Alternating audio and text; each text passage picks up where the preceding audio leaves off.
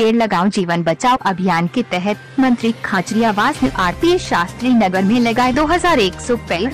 जयपुर 13 अगस्त, परिवहन मंत्री प्रताप सिंह खाचरियावास ने आज वार्ड नंबर 35 की राजस्थान पुलिस एकेडमी शास्त्री नगर में 2100 पेड़ लगाकर पेड़ लगाओ जीवन बचाओ अभियान की शुरुआत की। मंत्री खाचरियावास ने वहाँ सभा को संबोधित करते हुए कहा कि राम राज्य का असली अर्थ है जनवरी कल्याण और विकास है, पेड़ लगाना हम सबकी ज़िम्मेदारी है। पेड़ लगाएँगे तो जीवन को बचाया जा सकता है। उन्होंने कोरोना काल में ऑक्सीजन की भारी कमी का ज़िक्र करते हुए जनता से अपील की कि प्रत्येक व्यक्ति इस अभियान के तहत वृक्षारोपण करके खुद व दूसरों के जीवन को सुरक्षित करें।